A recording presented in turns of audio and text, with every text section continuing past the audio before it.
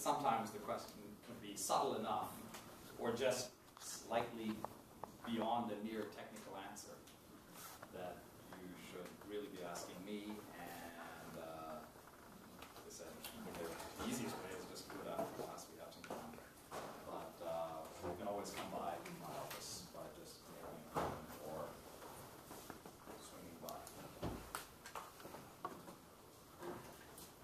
Okay, uh, where were we? So, we saw that uh, the self energy turned out to be minus 4 i g squared. We had some expressions. They were almost meaningless because they are infinity, but they are so close to the thing that we are eventually going to say is meaningful.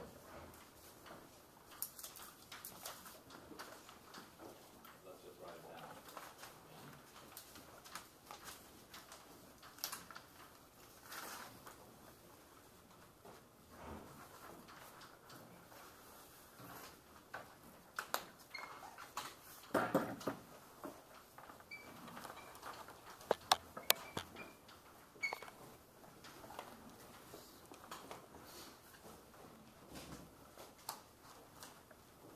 Now, where did I make a mistake? Um, Somewhere, I can check. Okay, sorry. Apparently, I might have had assigned a mistake here or there here. I believe these expressions are just sitting in Peskin and Schroeder, so it's not, well, I'm not sure about that. Do they, I don't know if Yukawa theory case. They do things which are almost identical to this, but, but, okay, well, we'll get word on where I might have made this. Um,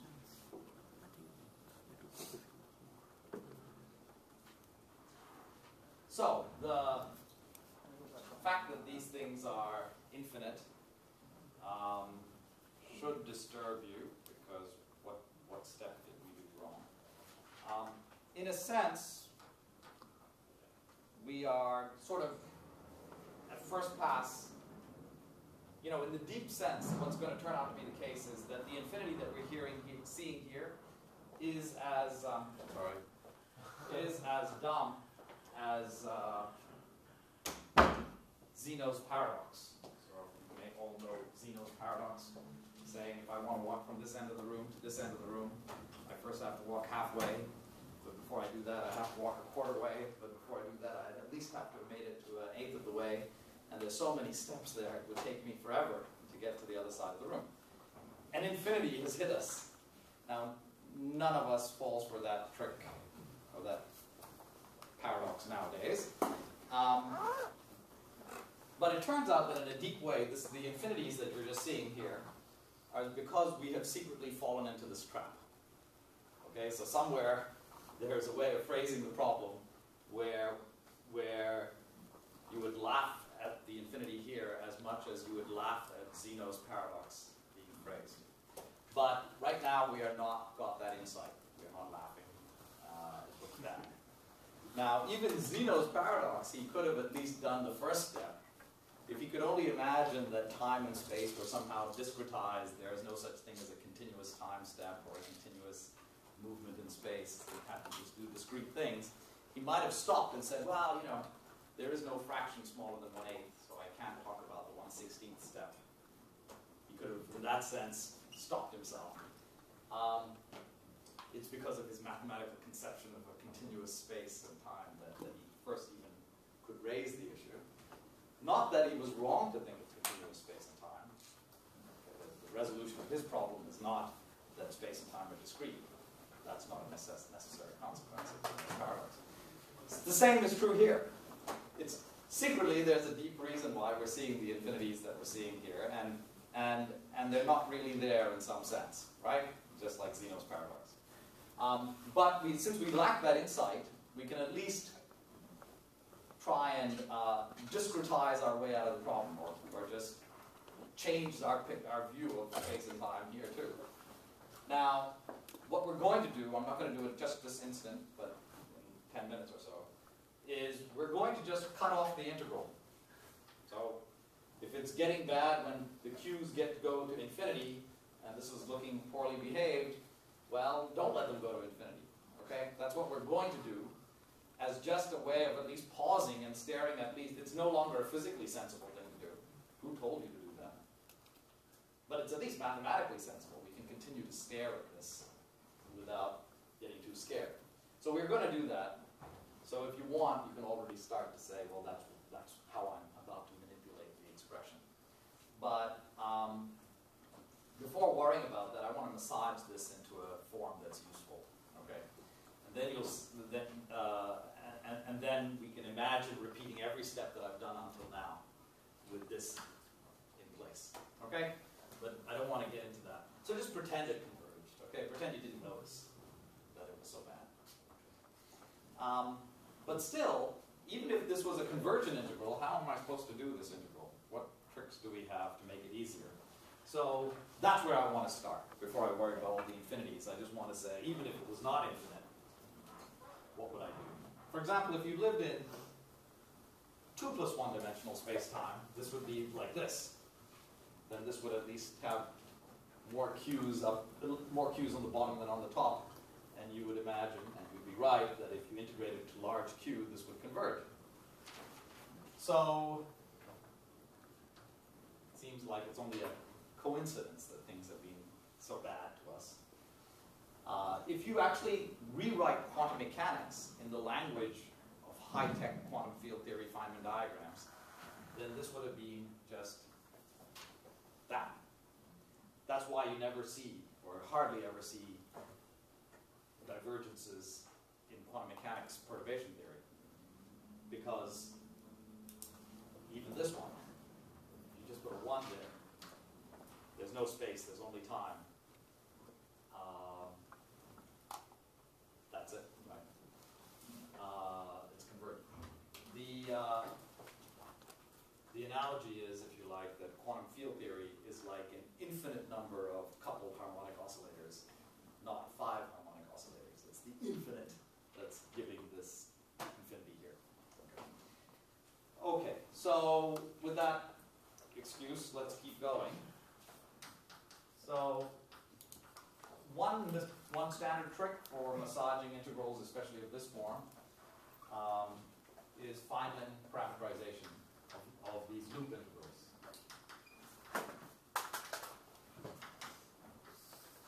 Okay, and it's just this trick. The that these two propagators carry different momentum dependence inside them, uh, it makes this a harder integral. If only I was facing this, I could actually shift the q by an amount p, and I would just get something which is p independent. See that? That wouldn't be so bad. That would be like the other integral. At least it's just a constant. It doesn't depend on p. So whatever it is, it's just a number. If I could only, if I only had this integral to do, this would actually be p independent, this integral. This one would also only be p integral. It's because they're intertwined in this way that there's trouble. So Feynman's trick is to figure out how to disintertwine these two guys. Here's the trick.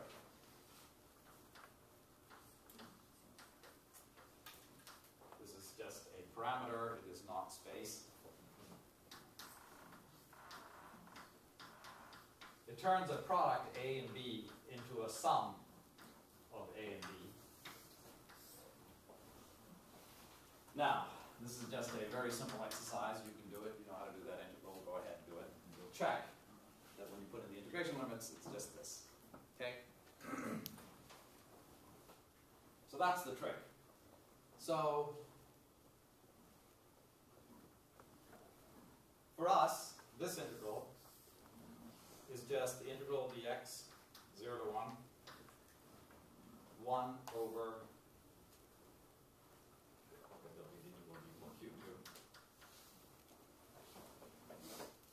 q squared 1 minus x m squared 1 minus x plus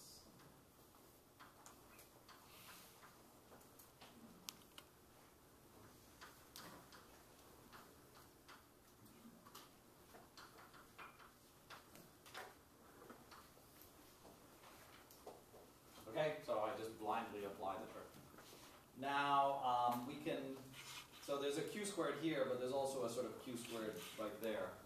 So let me just, uh, collect as many things as I can. Oh, this is a capital M squared.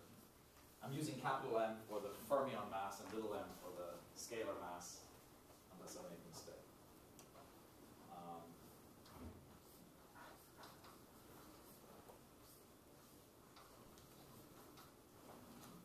By the way, is it fair to say that the camera can get This- so. Think so. But as a general principle, rule, keep yes. slightly bigger fonts. Yes. Well, as a general rule, I will, but I mean, for this moment, just put that right here. Um, So this is q squared minus m squared plus p squared x minus two p dot q. Okay, so there I've written it in a simpler form. Now, again, if only I had integrals where it's constant stuff and the q dependence is like q plus something all squared, then I can just shift the integration variables and just make it q. But I don't have that situation here. I have a q squared and I have a p dot q x. So it's not just a complete square. That's easy, just complete the square. Okay? So, um, I don't know how you're going to write it in your books, but.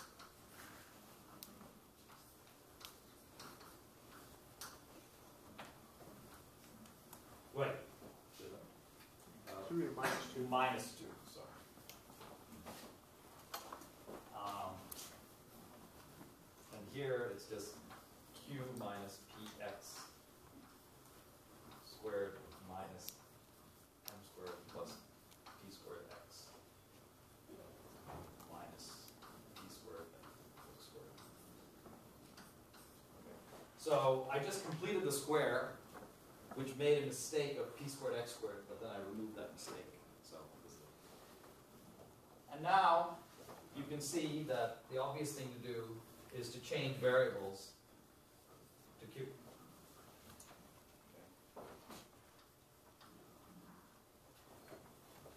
And then the integral will become much, much, much simpler.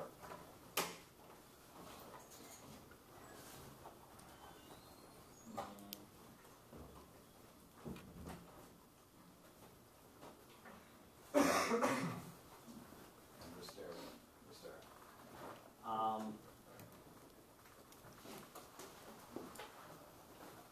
okay, so just to focus our minds, but you can, I mean, I'm just doing this field redefinition. I'm just gonna write it as, put it down, I'm gonna just write it as q squared. Okay. Um, how do we do that integral? Um, well, even this one, if only this was a sort of standard integral that we're used to in Euclidean three-dimensional space, we'd all know, you see, it only depends on q squared. So that's pretty handy, we just have to use polar coordinates. But oops, we are not in Euclidean space, we're in Lorentzian space-time. So I can't use polar coordinates and attack this. If only we could turn it into a Euclidean then I could use polar space and time. And the way to do that is what's is, is to turn a Lorentzian problem into a Euclidean problem is, is known as Wick. There's Wick contraction, that's something else. Wick rotation. And it involves just doing an analytic, uh, sorry, doing a contour rotation in the Q0, the energy complex plane. So let's just see how that works. So right now, so focus, we're focused on the integral dq0. Let's keep the spatial integrals out the front, undone. I only want to do this integral, okay, for a start. I want to imagine doing this integral. And so I'm drawing the Q0 complex plane. Course, I'm supposed to just integrate real q zero, right? So I'm just supposed to do this integral. That's my contour. Nothing complex about it. However, we can analyze where the poles are in this uh, one. Okay, this. There are poles in Q0 sitting here, and you can see where they are. Um, there are poles here and here where, so the poles are at Q0 equals plus or minus the square root of m squared minus p squared x 1 minus x minus or plus i epsilon. Plus and minus are correlated in this way. You can easily see that off the top of your head if you look over here. But it's only true that they look like this. This, this is only true if this thing is real, if this square root is real. Then it looks like this. If this square root was imaginary, it would look some, some other way. So what is that saying? What am I saying when I say the square root is, is real? So we're going to take um,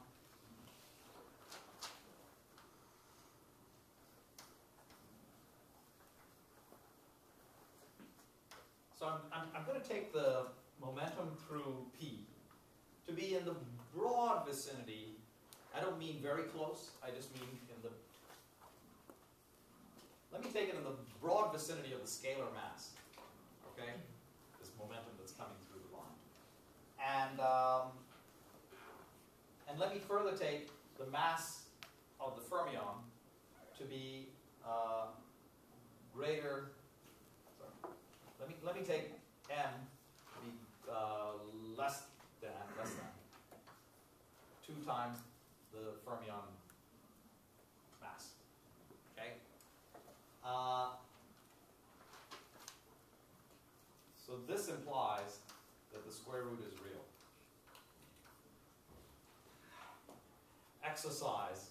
Check for yourself. The biggest that x times 1 minus x can be is a quarter.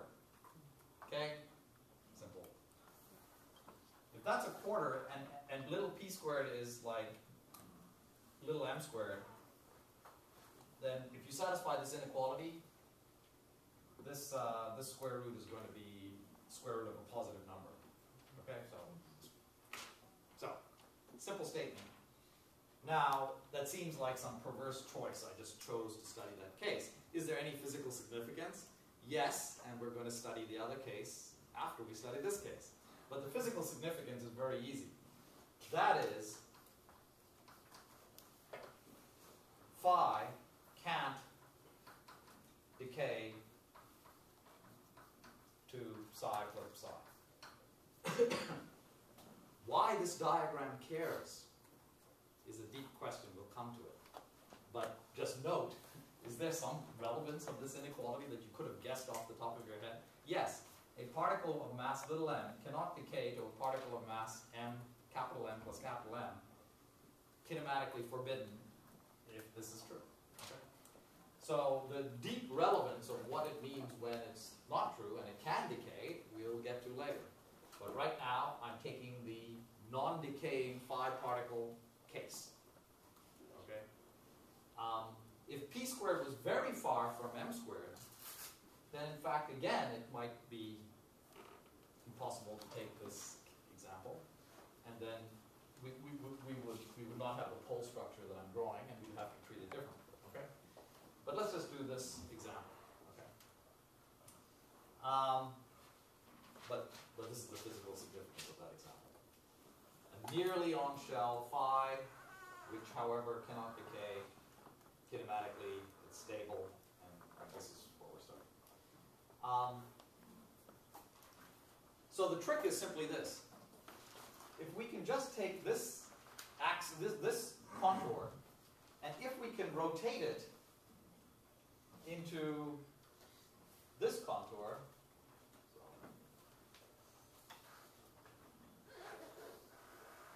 turn it into this contour, then we will be we will be integrating on the imaginary energy axis. okay? And the, the strategy is that right now we're struggling because the signature, so q squared, whenever we see q squared, it really means q zero squared minus q vector squared. But if we could sort of integrate here, then it would look like some sort of an overall minus sign and then a four-dimensional Euclidean construction for which we are masters of polar coordinates and all those tricks, okay? So that's the game plan. Uh, so let's see how that works. And um, I'll just comment that it seems to me a very deep fact. This is just a technical trick. This Euclidean space that you get by making Q0 imaginary and getting something that looks like it's just a four-dimensional Euclidean space. It's just a math trick for solving this problem in a simple way. But the fact that it's possible seems to me, and I think maybe many people in the world, to be a rather deep fact. What is this small sign that connects Euclidean and Lorentzian space-time? Uh, why is it so efficient to calculate in Euclidean space using this trick? It's, there's got to be a deeper story, but we don't know what it is. Okay. But as you going in the subject, you're going to keep seeing the Euclidean hiding behind the Lorentzian. And you're going to keep wondering, is there more to this than that? And the more you go, the more striking it becomes. All these places where it leaks out that there's some Euclidean side there. It's also the connection between the deep analogy between statistical mechanics, partition functions, if you like, and quantum field theory. There's a deep analogy, and it's based on this Lorentzian similarity. Anyway, right now we're just looking for a math trick so that we don't have to learn something about Lorentzian integrals. Um, what is it? Um, so the idea is the idea is to simply take this contour. So I'm going out to infin- I'm going out near infinity to a very large radius. I'm not. I'm assuming you've seen things like this in complex analysis courses, so I'm not stating let's take a big go out to R, just We're going out to infinity, and we're considering this closed uh, this closed contour. Okay, so here it is, nice closed contour. There's no poles in it, and so it is zero. Okay, that integral is zero. But these pieces here, I'm assuming, but I will prove. I'm assuming that the contributions, that these contributions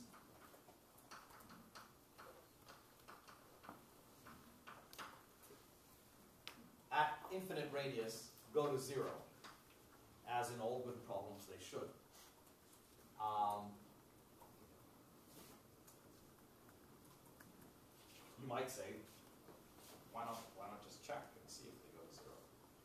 Uh, and indeed, there's, there's, you know, q zero squared here.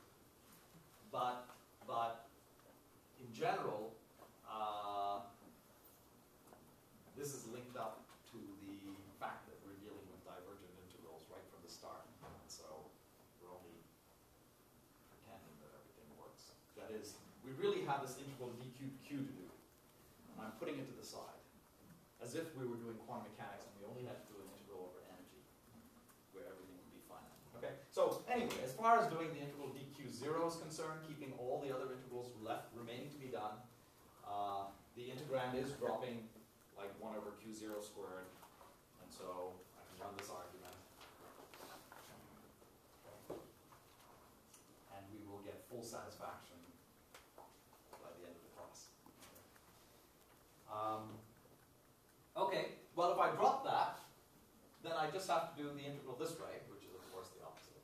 Just that. Um, so let's just write down the answer. What was it I was calculating again? Sigma. Uh, so sigma is equal to minus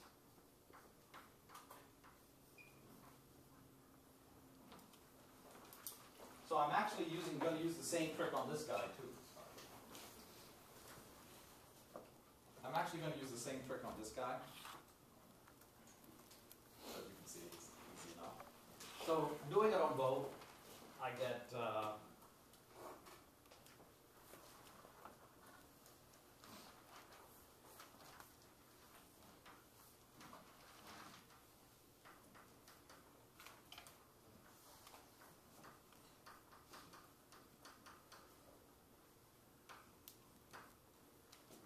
So that first term, this extra i is because of the fact that it's the imaginary axis that I'm using, okay? The, the minus is because instead of giving me q Euclidean squared, I'm getting minus q Euclidean squared. Um, so you can do, you can check these little things. I probably made mistakes, so check the signs. Uh, and then, and then there's this other term from the more complicated integral.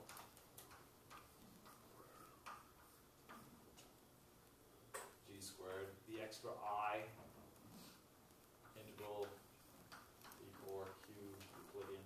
So you all see that what I'm doing is I'm taking this imaginary integral here, calling it, so uh, this, this trick, we're, we're saying, because we're trying to do this, we're defining this thing called Q4, which equals I Q0. Okay? So we're thinking of it as a fourth Euclidean direction. That's what I'm writing here. Okay? And that I is the thing that's, that's, that's showing up here. Um, integral dx 0 to 1, and then uh, q Euclidean squared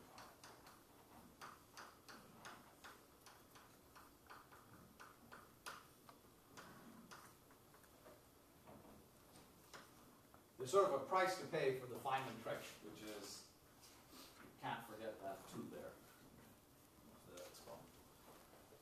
So it's, it's, it's, it's, it's not like a regular q, one over q squared, it's a one over q squared squared.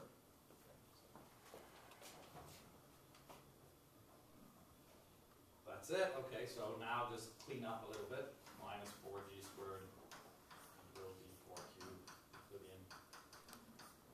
Q Euclidean. Okay, Where, a- a- again, just since this is the first time I used it, q Euclidean corresponds to q vector and q4.